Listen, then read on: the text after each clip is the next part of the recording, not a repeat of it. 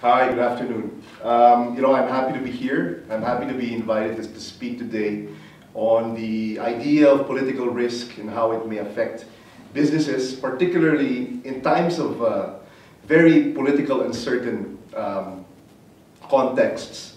Um, and I'm also going to show to you today some ideas about the, the Southeast Asian context and how it may apply to the context of Mongolia um, as as one of the you know um, more important Northeast Asian countries that you know will, will boom in the next few years.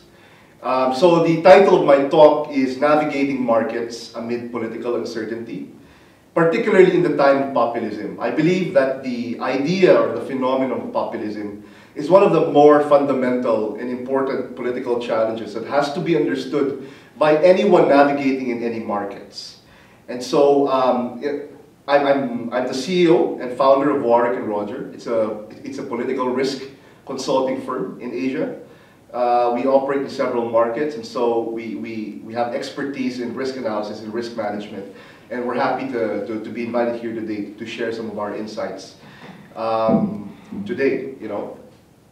Okay, so let me preface this talk by explaining to you the idea of populism. It's something that many people are trying to, in, in, popular discourse, many people have been trying to understand and to explain, especially in the rise of Trump, especially in the context of Brexit. And in Southeast Asia, you have President Duterte, you have President Jokowi in Indonesia. And it's, it's actually a phenomenon that you also see in, in, in several European countries, in, in, uh, in, in uh, ironically Western European countries but only a few people understand what exactly populism is. So um, the argument I put forward today is that populism is essentially a style or strategy of rhetoric. Particularly, it's a narrative that's, that's you know, um, uh, that creates demarcations among people, particularly a binary demarcation among people. Um, it's creating an enemy out of, of, of a particular demographic um, it may be the poor versus the rich. It may be Russia versus China. It may be ethnic lines uh, across ethnic lines and, and, and other um, and, and other contexts. But we, I want to, to focus on two emotions, two political emotions that are usually uh, embedded in the discussion or in the phenomenon of populism, and that is the, the, the, the rhetoric of hate and the rhetoric of belonging. So political leaders create this scenario where you know uh, they, they, they try to paint a picture where uh, one group will, will, will try to try to pit one's, one group over another and another will, will, will pit one group over another. And that creates the legitimacy for that political leader. But you know, we have to differentiate politi- uh, populism across two spectrums. Um, and what and that's what, what I call maybe economic populism and political populism. Both types of populism have very important implications for businesses. If you talk about economic populism, that's something you see in Latin America, and that's something that you know very few, uh, actually sub, sub, sub, sub, substantial amounts of uh, journalists and, and analysts have been talking about. But what I say is that it's not really something that can be found automatically with populism. It's not an automatic connection, but it is possible. So when we talk about economic populism, we're talking about protectionism through trade barriers. We're talking about economic nationalism, meaning that foreign ownership restrictions will be higher. We're also talking about tariffs and trade barriers, but also we're talking about social policy for labor. So what is the implication for business? The implication is that there is a bigger risk of nationalization for certain industries, particularly industries that are um, that are uh, very important for a country. For Mongolia, you're talking about mining. So what, what we can see eventually in the future is that there is a risk of nationalization. Therefore, foreigners, foreign companies will not be able to participate as easy as it was before. Uh, we're also talking about tariffs. So what are tariffs? Essentially, these are taxes that are imposed on a particular industry in order for that, for, for, for a foreign company to have a harder or easier time to come in a country. Okay? We're also talking about greater labor rights, protection for labor rights. You know, in, in Asia, um, the, the, the, the, the economies of Asia are known for cheap labor. Because of economic populism, what happens is that cheap labor will, will not necessarily be a reality and therefore will affect foreign direct investments. So what you can see, if, if, if you can find economic populism in one context, labor rights will probably be imposed better through higher wages, right, instead of lower, and therefore that makes it less attractive for companies to come in uh, and, and, and, invest in a country. Um, but also you see what we call political populism. And this is where it gets tricky because most populist leaders, or most the, the phenomenon of populism, is more closely embedded in this concept. So what are we talking about? We're talking about anti-immigration. So if, if, if, what you can see in, in Myanmar, for example, the Rohingya Muslims, the, the ethnic minorities are being persecuted. Um, there's a big immigration issue in Europe. Um, and uh, in, in the Philippines, um, you know, uh, while, while the Chinese are, are being, uh, you know, um, welcomed more. Um, some, some groups don't like uh, that, that particular, uh, you know, the participation of some Chinese nationals in, in the Philippine economy. Uh, it may seem far-fetched, but actually there's a big implication for business. One is that nationality restrictions would mo most likely be um, emboldened. What are nationality restrictions? We're, we're talking about ownership of land, we're talking about ownership or participation of foreign companies uh, in the in the you know in the in the equity bifurcation.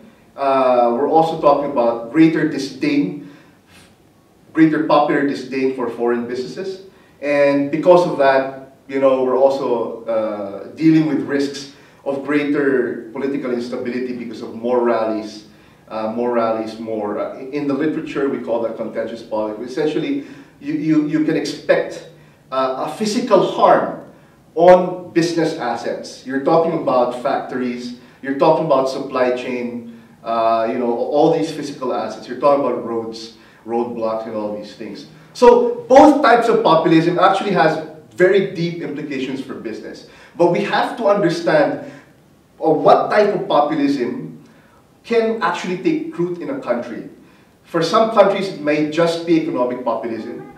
For some countries, may just be political populism. In the United States, actually, what, what we can see is just, it's just political populism. In the Philippines, it's a mix, mix between economic populism and political populism. Um, that's why you can see tax reform in the Philippines. Taxes that are imposed on business and imposed on, on, on people as well. So you have those two types of populism. What I understand from Mongolia is that it's actually both. Um, the participation of Chinese business, probably to an extent Russian business, is being uh, uh, uh, greatly questioned by some, some uh, in some quarters in the parliament and in the more popular political scene. So this is uh, the, the, the understanding populism, understanding the political shifts in a country is very important for business to understand. And that's, I think, the first step in order to manage the risks that can be accrued um, uh, in, in several contexts. And you know, th these contexts may not just be domestic. International contexts play a big role in, in, in the, the rise of populism or the, the, the, the downfall of populism in, in the future. And therefore, what we can see are three things um, and on how populism can affect markets. The first one is that the, the, type of populism has to be understood clearly. And that's something that businesses have to invest on. Trying to understand the, the nature of the enemy or the context where they operate in. Second, um, it is a mistake to think that global economic populism is on the rise. In fact, it's the total opposite. Trade deals are being made uh, every day. Uh, you, you can talk about the ASEAN context, you can talk about the ASEAN plus three context, you can talk about the Belt and Road Initiative of China, you can talk about the Trans-Pacific Partnership. The point is, more trade openness is actually happening, as opposed to what many people think. And that's actually an opportunity rather than a threat to, for, for, for, for businesses. Um, third, we should expect this to cascade down to the social level. Uh, the difference between the difference between uh, populist politics before, in the early 1900s, and what you see now, is that uh, it's less on trade but less on protecting people through, through, through greater um, empowerment in, in, in the sense of giving them more leeway uh, through welfare policies. So that's in the social policy realm. So I think you really have to understand the, the, the, the type of populism, why populism happened in one country and not in another, and how the global rise of populism affects the, the, the, the, the local level.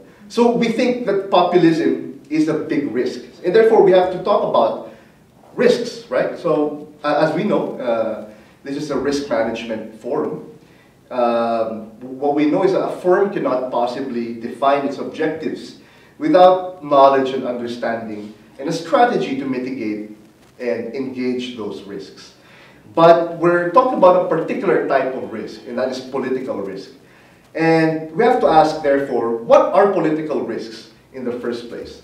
Uh, but at the onset, we have to understand that markets and politics are not separate. In fact, we, uh, at Warwick and Roger, we believe that markets in themselves are embedded in politics. They're not just related, but we say that it's always going to be political. You talk about tax reform, you talk about economic policy, may, may it be financial incentives to companies for special economic zones. These are political decisions and that, that, that, that, that, um, that are not separate from how leaders think, um, the popular opinions of people. And therefore, political risks are very, very important. So what are they? Political risks are any and all political events that may otherwise affect business, operations, and profitability. So there is a real financial implication with political risks. Um, if, for example, nationalization happens for mining, Obviously, if you're a foreign investor, what happens is that you have to submit and subsume all of your assets and all of your profit to the state, to the government, and you will cease to exist as a different or a, as a private entity. And if we're talking about billions of dollars of operations, you lose billions of dollars of, of, uh, of uh, you know, money for, for, for, for future profits, especially with belligerent leaders. Um, and you can see this in many cases in Latin America. You can see this in the authoritarian Philippines before. Um, you, you, can also see this in, in, uh, in, uh, in Europe. Uh, and so there's so many examples uh, that, that we can put forth. Um, so what are, what are examples of political risks? We're talking about political leadership reshuffles. Why is that important? It's important because there might be an epistemic shift. That means that there might be a shift in the priorities of how leaders think. If a leader, for example, is pro-Chinese business, suddenly becomes uh, replaced by a pro-Russia business, obviously there's a big implication. And uh, if, if you're the latter, then it, you, will, you should expect a harder time to, to uh, operate in one context. We're also talking about regime changes.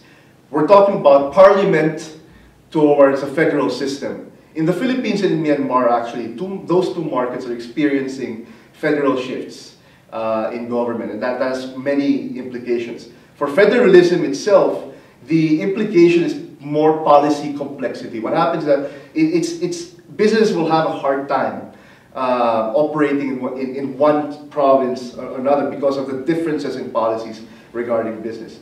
You also have, of course, legislative proposals and regulatory initiatives. This is the more common type of political risk that you can see. But you can also talk about labor politics. If suddenly 10 million people decide to, to, to one, boycott your products, or two, um, suddenly storm your building and help, hold you in hostage. It, you know, it actually happens. Embassies are being uh, ransacked and, and uh, burnt down, especially in very unstable governments where you operate. You can see that in several African countries. In Southeast Asian countries, you see that less often, but it still happens.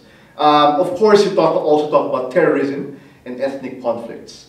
Terrorism, of course, the rise of the ISIS. Um, in Southeast Asia, it's happening, particularly in, in, what we, we consider the terrorism belt in southern Philippines and in, in northern Malaysia, northern Indonesia. Um, that, that, that's an actual threat. And usually these places are, are very rich in natural resources for commodity trade, minerals, fruits, and all these businesses. So that obviously terrorism poses a risk.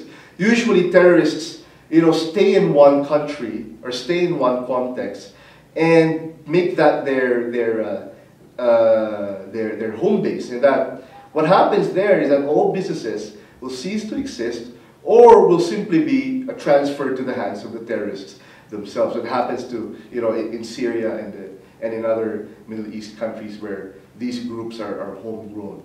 Um, but it's not just in the, the, domestic context. What you also have to understand is the geopolitical or the interstate international relations that may actually affect uh, um, businesses, uh, regional politics as well. So whatever happens in the ASEAN market for Southeast will, will affect the 10 member Southeast Asian states. So what we have now, for example, is the rise of the ASEAN Economic Community, uh, which is, which is essentially removing trade barriers among uh, the, the, the 10 member states. But for, for the European Union, for example, creating a trade partnership with ASEAN, ASEAN may be more protective. So it, it means that the 10 member states may decide to increase tariffs for European goods, for American goods, for Mongolian goods, for Chinese goods, and for, for other uh, goods because they are excluded from that regional setting. So we have to understand what happens in those meetings, how leaders think, you know, and, and,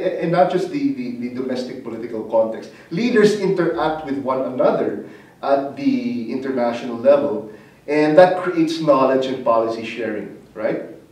So definitely, uh, you can see what we call a diffusion of ideas of policies towards divergence or, or, or, or convergence. Um, and so how do we manage these political risks? So we, we now go to political risk management. Essentially, it's, it's uh, similar to risk management practices uh, in that the steps, when we disaggregate the steps, it's, it's, uh, it's similar to, to financial risk management, economic risk management. But the, the, the, what, what differentiates political risk management is the way you analyze the risk itself and how you identify those risks to begin with. And, there, and therefore, there are probably four steps roughly. It depends on who you ask. But for our firm, what we practice is essentially four. You have risk monitoring. And this is a service that we actually do uh, monthly or, or, or every day. We monitor the possible risks that happen to uh, the, the, the, may, the, the, may affect businesses or, or clients. Um, and of course, because of monitoring, you can identify the risks that, that can affect businesses. But I think the more important thing really is to is the third step, which is risk assessment and risk forecasting. And that's where political science, social science methods come, come in and come in handy. So the difference is how you analyze um, um, risks. But the very first step towards risk management is understanding that there is a risk to begin with. If you don't think that there is a risk, then you might just be surprised that one day you lose a lot of money. And therefore, the early this risk management is an early warning device, an early warning tool for, for businesses. In order for in order for them at the executive level um, to, to be able to plan in the future, in the next five years, or you know, in the next 10 years, or maybe the next week, what kind of decisions they should make in light of the context where the, these businesses are embedded in. And so once we identify and understand those risks, what we do is we try to mitigate those risks before they, they, they, they, uh, they become a reality. Or if they are already a reality, we create strategies to engage those, those, uh, those risks. And you know, at, at, this juncture, I want to give some case studies on how we, we how uh, several companies have managed those risks. And we're talking about the biggest companies in the world, very, very popular brands. I'm going to give you a few examples. Um, Coca-Cola, for example, in, in, uh, in several contexts. The rise of healthy, healthy uh, legislation, uh, pro-health legislation, anti-sugar legislation because it's cancerous, um, is, is, is very much, uh, is very much uh, in, in play. But in the Philippine context, what we saw is the, because Coca-Cola imports this uh, product, uh, a particular product they use to, to make the, to complete the solution of Coca-Cola, it's called high fructose corn syrup. And the political power of the sugar bloc, which was a traditional European uh, uh, power center in the Philippines, uh, tried to bloc the importation of high fructose corn syrup because it's not actual sugar. And because it's not actual sugar, uh, and Coca-Cola Philippines rely on, on, that, on that, uh, on that uh, product, uh, the domestic sugar industry went down because Coca-Cola is not buying sugar from the local bloc anymore. And therefore, because of the power of the, of the sugar bloc in the Philippines, the voting block, that they, they're embedded in one very important um, island in the Philippines. Uh, and they control politics um, in some instances. Uh, Coca-Cola had to deal with that problem, and therefore they had to argue in Parliament uh, why why it's it's bad, you know, or, or why uh, importing HFCS is good. Um, and therefore, what happened was they engaged the, the the way they managed the risk was to engage the parliaments themselves. So we're talking about food and beverage. But on another spectrum, Facebook is a very popular um, company for politicians because it may be a tool used by their opponents to win or you know to make them lose. Uh, but also you spread you know what, what we call fake news in a post-truth world. Uh, that's something that governments are trying to, to combat because it might actually be against them.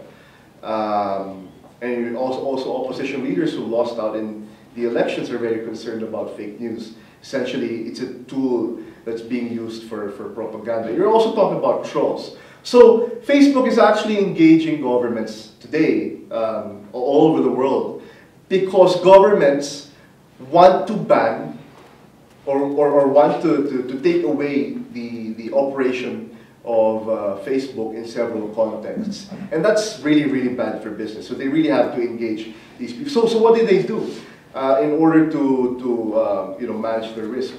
Uh, what they did was to, to create engagements and literacy programs for people who are in the political arena. Um, or, or not, not really in the political arena, but but for, for, for, for, for the general public, in order to you know, improve their image, um, especially in, in, in, the time of uh, uh, you know, uh, very rich democratic traditions in several countries. Um, but we can also talk about technology firms. Facebook is, is a social media firm. Uh, Qualcomm, which actually is a very highly publicized um, you know, risk that happened to, to Qualcomm. Uh, Qualcomm is the producer of chips, and, they're, they're essentially in the semiconductor industry. Chips that are being used for several phones like Apple, uh, like uh, like Nokia, you know, Bloom, uh, you know the, and Huawei maybe, um, and the they faced they faced several several um, problems with patent rights. Because, for example, in the Philippines, the production of chips is very is a big industry, and what they face is that you know Qualcomm is trying to copy all of those um, um, uh, uh, the, the design, the industrial design for those chips. And actually, that's something that they faced in China and South Korea, in the United States, maybe in Europe. So they're trying to mitigate those risks in other markets where they operate. Um, in Southeast Asia, um, technology export is becoming a very big export product in Thailand, you know, in the Philippines, and, um, as well as Indonesia next to textile. Uh, but we're also talking about Visa and MasterCard.